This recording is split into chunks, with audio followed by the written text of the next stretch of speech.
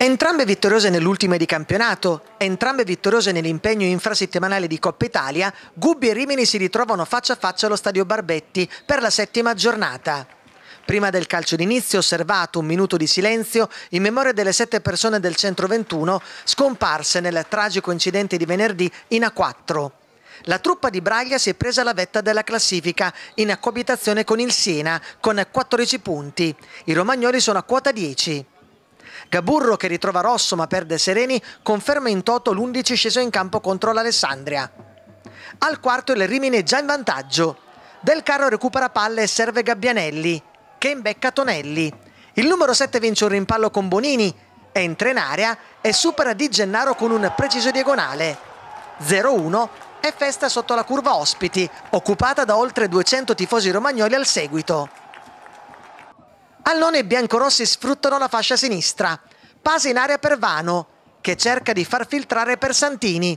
La sfera non passa ma arriva sui piedi di Gabbianelli, che non ci pensa due volte e calcia, trovando il gol del raddoppio. Gubbio 0, Rimini 2.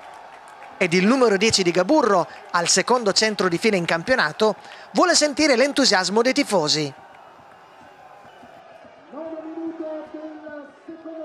Al quattordicesimo punizione per il Gubbio. Bonini colpisce di testa, Zaccagno recupera la sfera dopo il tocco di Panelli, ma poi la perde sulla carica di Redolfi che da terra mette in rete. Ma l'arbitro aveva già fermato il gioco. Al diciassettesimo lancio in profondità di Bonini, spizzata di Vasquez per Mbakogu che calcia, Zaccagno si salva in angolo. Al ventiquattresimo altro lancio di Bonini, Pietrangeli rovescia il pallone servendo involontariamente Vasquez che controlla e va alla battuta, pallone alto di un niente. Al 26esimo il Gubbio batte tre corner di fila. Sul secondo, battuto d'Arena, Portanova prolunga e Bonini impatta di testa, Regini salva anch'egli di testa. Al 36esimo Mbakogu colpisce di testa da centro area, sfera lontana dei pali. Un minuto dopo del carro per Santini, che porta la sfera verso l'auto di destra. Poi allarga per l'Averone. Pronto il cross del capitano, Vano sovrasta Corsinelli. Santini mette in rete ma l'arbitro vede un fallo del numero 99 sulla sponda aerea. Al 42esimo lancio di Toscano per Arena, la cui conclusione è Sibilalato. Al 46esimo altra punizione per il Gubbio. Ancora Bonini colpisce di testa, Zaccagno è prodigioso, Panelli non riesce ad allontanare, Bonini ci riprova ma il portiere di Minese devia in angolo. I rossoblù vorrebbero il gol, l'arbitro concede solo un corner. Si va all'intervallo con i biancorossi avanti di due reti. Al settimo della ripresa sugli sviluppi di una rimessa da sinistra, Pasa prima colpisce di testa, poi tocca con una mano dopo l'acrobazia di Vasquez. Regina lontana e Toscano spara a fondo campo.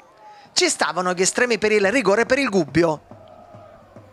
Al 25 Arena intercetta un rinvio di Zaccagno e serve Vasquez sul cui traversone basso Pietrangeli nel tentativo di anticipare Mbakogu infila la propria porta. I rossoblù dimezzano lo svantaggio e la partita si riapre. Al 38 dopo un buco difensivo, Arena può involarsi a destra. Dopo un rimpallo con Gigli, il pallone finisce dalle parti di Tofanari, che anziché allontanare lo tocca corto all'indietro. Zaccagno arriva prima di Arena e salva il risultato. Anche se sono finiti i sei minuti di recupero, l'arbitro fa battere al Gubbio due corner. Si porta in area anche Di Gennaro, dalla bandierina Boulevardi. Arena recupera la sfera al limite dell'area e la riconsegna al 10, che salta Tofanari e mette in mezzo. Vasquez impatta e Zaccagno arpiona il pallone. Arriva il triplice fischio, vince il Rimini 2-1. I biancorossi salgono a quota 13 in classifica, a meno 2 dalla vetta. E domenica prossima al Neri arriva la Vispesaro.